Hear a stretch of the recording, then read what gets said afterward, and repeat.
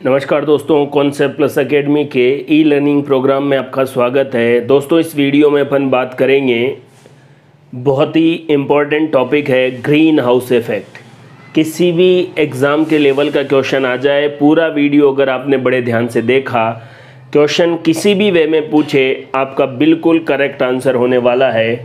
तो ये देखिए दोस्तों, अपन शुरू करते हैं ग्रीन हाउस इफ़ेक्ट जिसको हिंदी में हरित गृह प्रभाव या पौधा घर प्रभाव भी कहते हैं। हरित गृह या ग्रीन हाउस इफ़ेक्ट के बारे में आपको अगर पहले से आइडिया है तो आप जानते हैं कि सूर्य के प्रकाश की किरणों को कुछ गैसें या जो भी अवरोधक है, वो उसको रोक लेते हैं और उसकी वजह से पृथ्वी का टेम्परेचर तापमान बढ़ रहा है। ये नॉर्मल बात आप, जब भी आपके दिमाग में ग्रीन हाउस इफ़ेक्ट आएगा तो आपके दिमाग में कि कुछ गैसों या वायुमंडल में प्रदूषण के कारण क्या हो जाता है? पृथ्वी का टेम्परेचर बढ़ रहा है। वास्तव में यही ग्रीन हाउस इफ़ेक्ट है।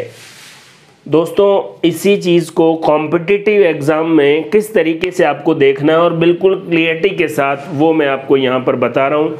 बड़े ध्यान से देखें। आइए शुरुआत करते हैं। दोस्तों, ये है आपका अपना सूर्य, सूरज। सूर्य लगातार इतने सालों से आपको ऊर्जा दे रहा है।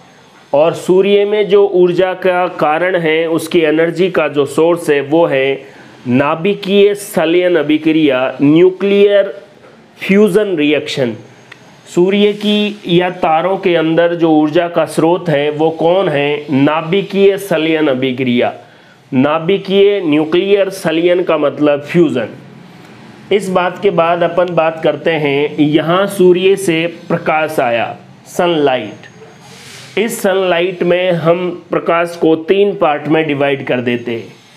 पराबैंगनी अल्ट्रा वायलेट दृश्य प्रकाश विजिबल लाइट और अवरक्त इंफ्रारेड ठीक है दोस्तों?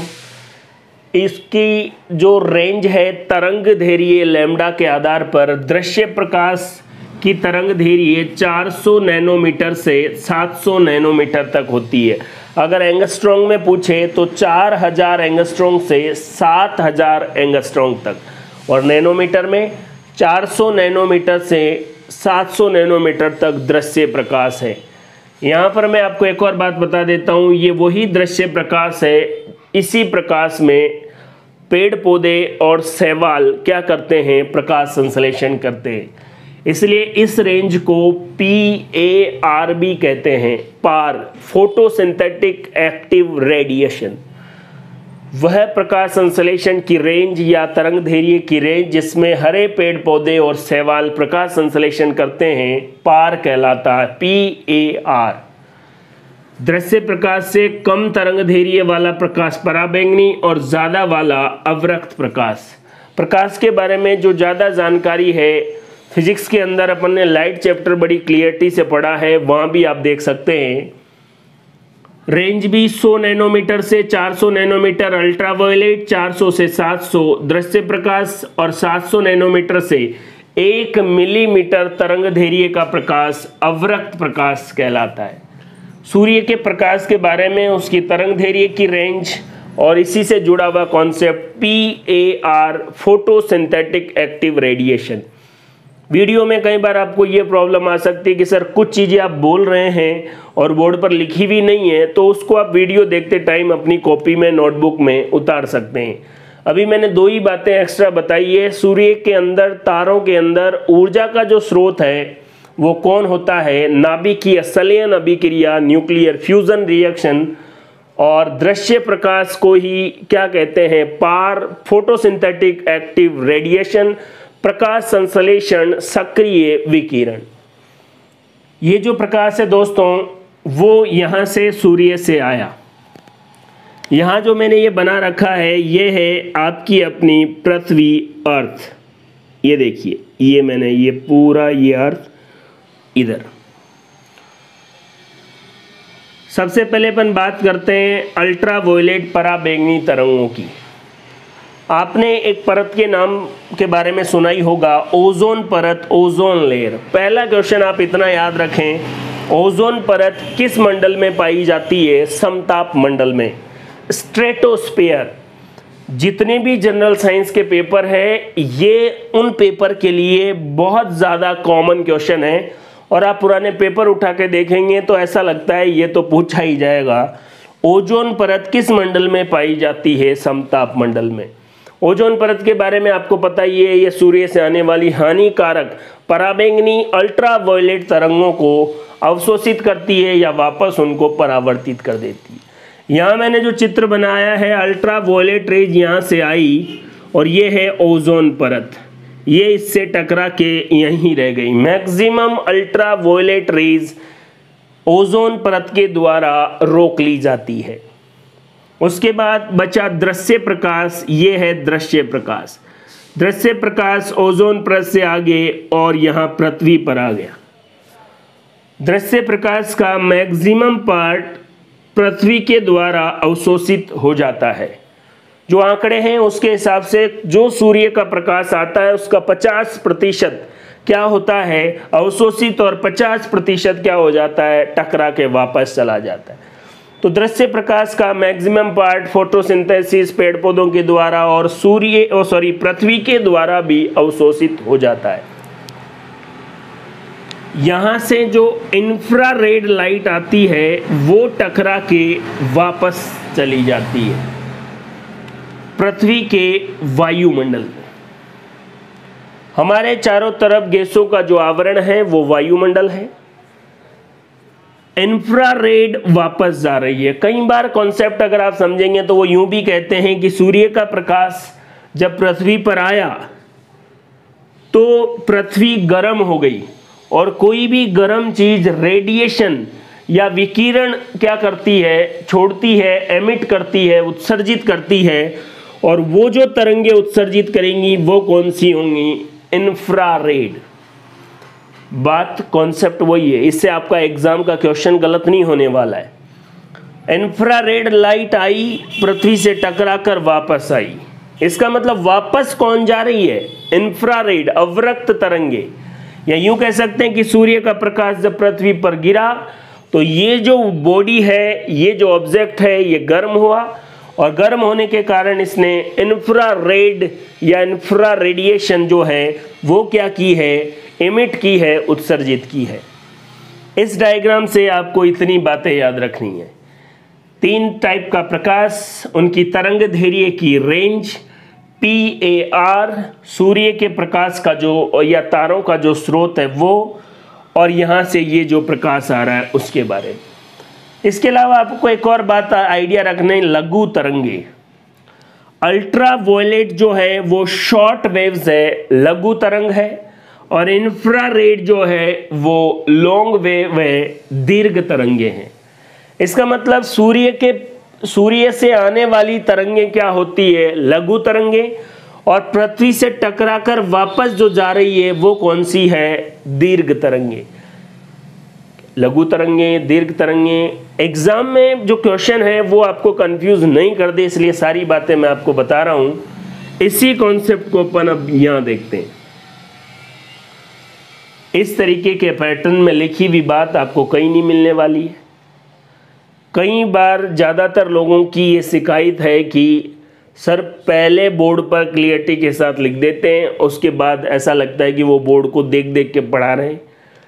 पहले आप इस बोर्ड को बड़े ध्यान से देखें, कहीं भी आपको ऐसा पैटर्न लिखा हुआ मिले तो आप मेरे को बताएँ, ये बोर्ड नहीं, ये स्लाइड है, जो बहुत मेहनत करके आपके लिए बनाई गई है। और ये जो खास पैटर्न इसलिए है कि बच्चे को बहुत ईजीली कैसे समझ में आए और साथ में आपका वीडियो जो दो घंटे में कंप्लीट होने वाला था, वो एक घंटे में आपका डाटा भी सेव रहेगा। खैर, कोई बात नहीं, अपने को लोगों को ज़्यादा किसी को समझाने की ज़रूरत नहीं है, लेकिन जो ऐप पर स्टडी कर रहे हैं, उनको ऐसा नहीं लगे। उनको ये लगना चाहिए और लगना क्या चाहिए? आपको अपने एग्ज़ाम का एक एक क्वेश्चन सॉल्व होना चाहिए। इसके अलावा आपको क्या मतलब है जी?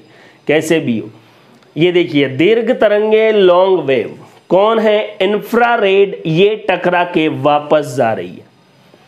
ये वापस निकलने वाली थी, लेकिन वायुमंडल में बादलों ने इसको वापस भेज दिया कि कहाँ जा रही है? वापस चल। फिर ये टकरा के पृथ्वी से वापस जाने वाली थी। अब की बार कार्बन डाइऑक्साइड ने रोक लिया। कहाँ जा रही है? वापस चल। फिर टकरा के वापस जाए तो मिथेन गैस ने, प्राकृतिक गैस ने रोक लिया। फिर उसके बाद नाइट्रस ऑक्साइड ने रोक लिया। इंफ्रारेड अवरक्त प्रकाश को वायुमंडल में उपस्थित बादल CO2 मेथेन और नाइट्रस ऑक्साइड ने ट्रैप कर लिया इस प्रकाश को।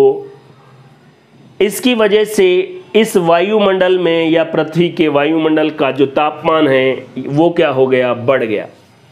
अगला क्वेश्चन ये है दोस्तों कि ये जो ट्रैप करने की पावर है, वो सबसे ज़्यादा किसमें 36 परसेंट बादलों द्वारा सबसे ज़्यादा। CO2 24 percent twenty four percent methane और नाइट्रस ऑक्साइड 6 से 10 प्रतिशत तक सूर्य की विकिरणों को इंफ्रारेड को ट्रैप करती है। N2O का नाम मैंने यहाँ पर क्लियर लिखा है नाइट्रस ऑक्साइड CH4 के बारे में एक कंप्लीट वीडियो भी है, अगर आप चैनल पर देखेंगे। मिथेन गैस कहते हैं इसको, प्राकृतिक गैस कहते हैं। गोबर गैस में पिचहत्तर प्रतिशत यही गैस पाई जाती है। नेचुरल गैस सीएनजी गैस का प्रमुख घटक भी यही है। ठीक है दोस्तों? यहाँ पर इस डायग्राम में आपको यह क्लियरिटी से समझ में आया कि कौन कितना ज़्यादा इंफ्रारेड को ट्रैप कर रहा है, अवशोषित कर रहा है। इसके बाद इस डायग्राम में देखिए, कहीं बार थोड़ा हाई लेवल के एग्ज़ाम में शॉर्ट वेव लॉन्ग वेव इनके बारे में भी बात की जाती है। इनको मैं बिल्कुल नॉर्मल कॉन्सेप्ट से आपको बताता हूँ। सूर्य से विकिरण आई। याद रखिए दोस्तों, सूर्य से ही कोई तरंगे आई है तो सूर्य के पास से जो आई है, उसमें ऊर्जा तो बहुत ज़्यादा होगी। आपतित आने वाली तरंगे, ऊर्जा क्या होती है? बहुत ज़्यादा। और ऊर्जा का फॉर्मूला प्लांक का जो नियम है ई e बराबर एच न्यू एच प्लांक नियतांक न्यू आवृत्ति या फ्रीक्वेंसी। इस न्यू की जगह सी अपॉन लेमडा तो एक कॉन्सेप्ट समझ में आया कि अगर तरंगों की ऊर्जा ज़्यादा है तो लेमडा कम होगी। सूर्य से जो तरंगें आई है, उनकी ऊर्जा बहुत ज़्यादा है तो फिर उनकी तरंग धैर्य लेमडा कम होगी। और ये लॉन्ग और शॉर्ट ये वर्ड तरंग धैर्य वेवलेंथ के अकॉर्डिंग है। इसका मतलब लघु तरंग धैर्य तो लघु तरंग धैर्य लेमडा कम है तो ऊर्जा ज़्यादा होगी। और इन तरंगों की ऊर्जा ज़्यादा होती है, इसीलिए ही ये ज़्यादा हानिकारक होती है। इन तरंगों की ऊर्जा, देखो यहाँ पर देखिए, जो टकरा के वापस जा रही है इंफ्रारेड उनमें ऊर्जा बहुत कम है। और ऊर्जा बहुत कम है तो लेमडा ज़्यादा और लेमडा ज़्यादा तो लॉन्ग वेव शॉर्ट और लॉन्ग वेवलेंथ से रिलेटेड वर्ड है तरंग धैर्य और ऊर्जा में क्या संबंध है वो आपको पता लग गया। सूर्य से आने वाली तरंगों की ऊर्जा ज़्यादा होगी। ऊर्जा ज़्यादा तो लेमडा कम लेमडा कम तो क्या होगा? लघु तरंगे। Short wave. टकरा के पृथ्वी से वापस जा रही है, उनकी ऊर्जा कम होगी और ऊर्जा कम होगी, लेमडा ज़्यादा तो लॉन्ग वेव आपसे कोई पूछे कि ग्रीन हाउस इफ़ेक्ट किन तरंगों के कारण होता है? तो आप टकरा के वापस जा रही है, इसलिए ग्रीन हाउस इफ़ेक्ट हो रहा है। तो कौन सी तरंगों के कारण लॉन्ग वेव अधिक तरंग धैर्य और कम ऊर्जा वाली तरंगे दीर्घ तरंगों के कारण? एग्जैक्ट नाम पूछे, अवरक्त तरंगों के कारण। क्रम पूछे, सबसे ज़्यादा बादलों के कारण। CO2 गैस सबसे ज़्यादा मिथेन और नाइट्रस ऑक्साइड का 6 से 10 प्रतिशत। इधर अपन ने बात करी लिए, ओजोन परत किस मंडल में पाई जाती है? समताप मंडल में। प्रकाश की तरंगों का क्या रखना है? वेवलेंथ का रेंज आपको याद रखना है। ग्रीन हाउस इफ़ेक्ट के लिए जिम्मेदार तरंगे, अवरक्त तरंगे हैं, जो दीर्घ तरंगे हैं। इन अवरक्त तरंगों से संबंधित कुछ क्वेश्चन सीधे आते हैं, वो मैं आपको यहाँ लिखवा दिए। देखो ग्रीन हाउस इफ़ेक्ट के लिए जिम्मेदार कौन सी तरंगे हैं? अवरक्त तरंगे। सीसीटीवी कैमरा में भी किन तरंगों का इस्तेमाल होता है? अवरक्त तरंगों। फोग लाइट, जो फोर व्हीलर या जो टू व्हीलर वाहन है, उनमें कोहरे के टाइम देखने के लिए एक अलग से लाइट लगाई जाती है, उसको कहते हैं फोग लाइट। और फोग लाइट में अवरक्त तरंगों का इस्तेमाल। टीवी के रिमोट या जितने भी रिमोट कंट्रोल है, उनमें भी इंफ्रारेड अवरक्त तरंगों का इस्तेमाल, ये एक बार पूछा भी गया है। रिमोट के अंदर कौन सी तरंगों से संबंधित रिमोट वो है इंफ्रारेड एक बायोलॉजी की बहुत ही महत्वपूर्ण बात, जीवाणु किस प्रकाश में प्रकाश संश्लेषण करते हैं? अवरक्त प्रकाश में। पादप और शैवाल किसमें करते हैं? दृश्य प्रकाश में। बैक्टीरिया जो है वो किस प्रकार के प्रकाश में? अवरक्त प्रकाश में इंफ्रारेड लाइट में अपना फोटोसिंथेसिस का प्रोसेस कंप्लीट करते। यहाँ पर जितनी भी बातें हैं, वो आपके सामने क्लियर है। फिर भी आपके एग्ज़ाम में आपसे पूछा जाता है, क्वेश्चन तो अगर क्वेश्चन, अगर अपन ने इतने टाइम तक बातें देखी, उसके बाद एक और बात देखिए, पृथ्वी की जो केंद्र है, उससे ध्रुवों के बीच की दूरी को ये देखो, केंद्र और ध्रुव R P radius of polar केंद्र और भूमध्य रेखा वाला रेडियस ऑफ़ इक्वेटर तो भूमध्य रेखा पर पृथ्वी की त्रिज्या ज़्यादा होती है और ध्रुवों पर कम होती है। पृथ्वी ऐसे थोड़ी सी दीर्घवर्ताकार या चपटी होती है। चपटी का मतलब ऐसे नहीं है कि चकती की तरह, नहीं, है ना? दीर्घ वर्ताकार टाइप जिसमें भूमध्य रेखा पर त्रिज्या ज़्यादा और ध्रुवों पर त्रिज्या कम होती है। इस कॉन्सेप्ट को भी आपको क्या करना है? याद रखना है। तो बहुत क्लियरिटी के साथ आप चीज़ों को देखें। इस चीज़ को पढ़ने के बाद आपको क्लियर हो जाना चाहिए कि ग्रीन हाउस इफ़ेक्ट में कौन सी तरंग इंफ्रारेड क्या है शॉर्ट वेव क्या है लॉन्ग वेव किस टाइप की वेव की वजह से ग्रीन हाउस इफ़ेक्ट होता है लॉन्ग वेव की वजह से? अवरक तरंगों के क्या क्या इस्तेमाल है? किस परसेंटेज में ग्रीन हाउस इफ़ेक्ट में इनका योगदान होता है? और ग्रीन हाउस का क्या रीज़न है? वो आपके सामने बिल्कुल क्लियरिटी से इसको बड़े ध्यान से देखें, चीज़ों को समझें।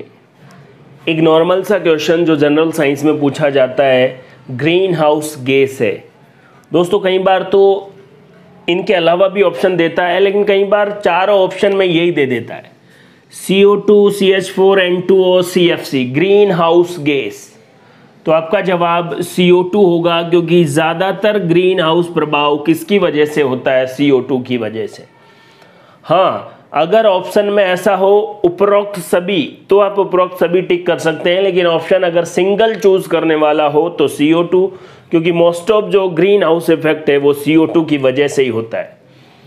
ग्रीन हाउस विकिरण है। मैं आपको अभी समझाया ग्रीन हाउस विकिरण ग्रीन हाउस के लिए जिम्मेदार है इंफ्रारेड अवरक्त विकिरण। बहुत ही इंपॉर्टेंट बात है। इसके अलावा पृथ्वी पर जल वाष्प की औसत मात्रा, ये सिंपल क्वेश्चन है जो कई बार सीधा, जो जितने भी डाटा वाले क्वेश्चन हैं, उनमें पूछा जाता है। चार से छः प्रतिशत जल वाष्प की मात्रा, औसत मात्रा है पृथ्वी पर। पृथ्वी का औसत तापमान 14 डिग्री से 15 डिग्री हो सकता है। एग्जैक्ट आसपास वैल्यू नहीं आएगी 14 या 15 अगर फिर भी एग्जैक्ट पूछे तो 15 degree Celsius green house effect ज़रूरी भी है। एक बहुत ही इंपॉर्टेंट बात दोस्तों ये है कि जब भी बच्चा पढ़ता है तो उसने एक थिंकिंग बना रखी है कि यार ग्रीन हाउस इफ़ेक्ट इन गैसों की वजह से हैं वातावरण में ये गैसें नहीं होनी चाहिए, वरना ग्रीन हाउस इफ़ेक्ट बढ़ेगा। तो उसके दिमाग में ग्रीन हाउस के लिए एक नेगेटिव जो थिंकिंग है, वो डेवलप हो जाती है। ऐसा नहीं है दोस्तों ग्रीन हाउस इफ़ेक्ट ज़्यादा हो तो प्रॉब्लम है, वरना होना भी ज़रूरी है। ग्रीन हाउस इफ़ेक्ट ज़रूरी भी है। क्यों ज़रूरी है? मैंने आपको बताया टेम्परेचर मेंटेन करने के लिए। अगर ग्रीन हाउस इफ़ेक्ट नहीं होता तो हमारी पृथ्वी का औसत तापमान माइनस में 18 डिग्री सेंटीग्रेड होता। क्या फिर पीने के लिए जल उपलब्ध होता? क्या पृथ्वी पर जीवन व्यापन कर सकते थे अपन? बिल्कुल नहीं कर सकते थे। तो अभी वर्तमान में जो औसत तापमान 14 या 15 डिग्री सेंटीग्रेड है, उस पर जीवन यापन करने की संभावनाएँ आपको पता है। अगर ग्रीन हाउस इफ़ेक्ट नहीं होता तो ऐसा नहीं होता। तो क्या ग्रीन हाउस इफ़ेक्ट आवश्यक है? बिल्कुल आवश्यक है। लाभदायक है? बिल्कुल लाभदायक है। लेकिन अभी पॉल्यूशन, प्रदूषण की वजह से इन गैसेस का स्तर इतना ज़्यादा बढ़ गया कि अब टेम्परेचर ज़्यादा बढ़ रहा है। इसलिए इसको मेंटेन रखना है, ज़्यादा नहीं होने देना है। क्या काम करता है ये? तापमान को मेंटेन करता है। कुछ और क्वेश्चन है। सबसे ज़्यादा ग्रीन हाउस इफ़ेक्ट किस ग्रह पर होता है? तीन ग्रह के बारे में मैंने आपको बताया जहाँ पर ग्रीन हाउस इफ़ेक्ट होता है, शुक्र, पृथ्वी और मंगल। ये तीन ऐसे ग्रह हैं जहाँ पर ग्रीन हाउस इफ़ेक्ट होता है। सबसे ज़्यादा वीनस पर, इधर फिर अर्थ पर और सबसे कम मार्स पर। शुक्र ग्रह का जो तापमान है, वो चार सौ पैंसठ डिग्री सेंटीग्रेड होता है और इसका रीज़न ये है कि वहाँ पर 96 परसेंट सी होती है और सी ही मैन ग्रीन हाउस गैस है तो ये बहुत ज़्यादा लाइट को ट्रैप कर लेती है और वहाँ के तापमान को बढ़ा देती है। गाड़ी के शीशे बंद रखकर अगर आप धूप में रख दें तो वो गर्म हो जाती है, क्योंकि शीशों से सूर्य का प्रकाश आ तो जाता है, लेकिन टकरा कर वापस बाहर नहीं आ पाता, इसलिए वो गर्म हो जाती है। ये भी ग्रीन हाउस इफ़ेक्ट है। एग्ज़ाम के पर्पज से इस तरीके के क्वेश्चन ऐसा लगता है जनरल साइंस के हैं और कॉन्सेप्चुअल भी है। यदि सर्दियों में आसमान में बादल छा जाएँ तो उसकी बूंदें क्यों नहीं बनती? ये देख लीजिए, ये आसमान, ये कोई पादप मैं आपको यहाँ पर बना देता हूँ जिस पर ये ओस की बूंद है। सर्दियों में ओस की बूंदें आ जाती हैं। अगर बादल आ गए तो आपको पता है ज़्यादातर जो ग्रीन हाउस प्रभाव है, वो बादलों की वजह से तो वो इंफ्रारेड टकरा के वापस आएगी और तापमान को बढ़ा देगी। तापमान बढ़ेगा तो जो उसकी बूंद है, वो जल वाष्प के रूप में उड़ जाएगी। तो सर्दियों में, आसमान में बादल छा गए, ऐसा लग रहा है छाया हो गई। नहीं, आसमान में बादलों की वजह से ग्रीन हाउस इफ़ेक्ट बढ़ा तापमान ज़्यादा ओस की बूंदें जल वाष्प के रूप में उड़ गई तो ओस की बूंदें नहीं बनेगी। ग्रीन हाउस इफ़ेक्ट को किस अप्रोच के साथ आपको पढ़ना है, ये मैं आपको बता रहा हूँ। क्या होता है वो मैंने आपको समझा दिया। किन गैसों की वजह से होता है, किस प्रकार की विकिरणों की वजह से होता है, लेकिन एग्ज़ाम के पॉइंट ऑफ़ व्यू से आपको इस तरीके से सोचना है। ग्रीन हाउस इफ़ेक्ट क्या है? ग्रीन हाउस इफ़ेक्ट नेचुरल है या आर्टिफिशियल है? पहले इस कॉन्सेप्ट को देखते हैं। ग्रीन हाउस इफ़ेक्ट ग्रहों पर हो सकता है, उपग्रहों पर हो सकता है।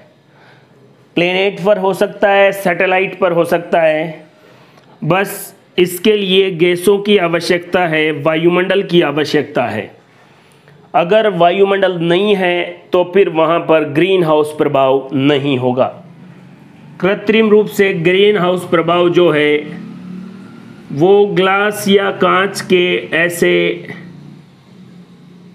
चैम्बर बना लिए जाते हैं और उसके अंदर पादप उगाए जाते हैं। ये देखिए। इसमें क्या होगा? सूर्य का प्रकाश इस ग्लास के अंदर प्रवेश तो कर जाएगा, लेकिन बाहर उतनी मात्रा में नहीं निकल पाएगा। ये ग्लास उसको बाहर नहीं निकलने देगा। इसकी वजह से अंदर यहाँ पर तापमान में क्या हो जाएगी? वृद्धि हो जाएगी।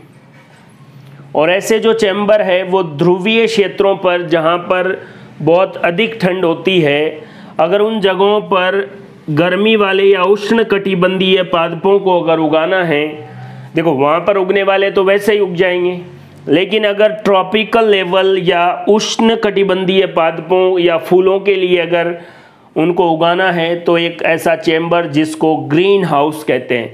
और वास्तव में जो ग्रीन हाउस इफ़ेक्ट है, वो इस हाउस या एक ग्लास का चैम्बर बना के इसी से ये कॉन्सेप्ट आया है। ग्रीन हाउस इफ़ेक्ट प्राकृतिक है या कृत्रिम है, दोनों हैं। ग्रीन हाउस इफ़ेक्ट ग्रहों पर होता है, उपग्रहों पर दोनों पर हो सकता है, बस वायुमंडल या गैसें उपस्थित होनी चाहिए। ध्रुवों पर या ठंडे प्रदेशों में तापमान बढ़ाने के लिए ग्रीन हाउस का इस्तेमाल किया जाता है।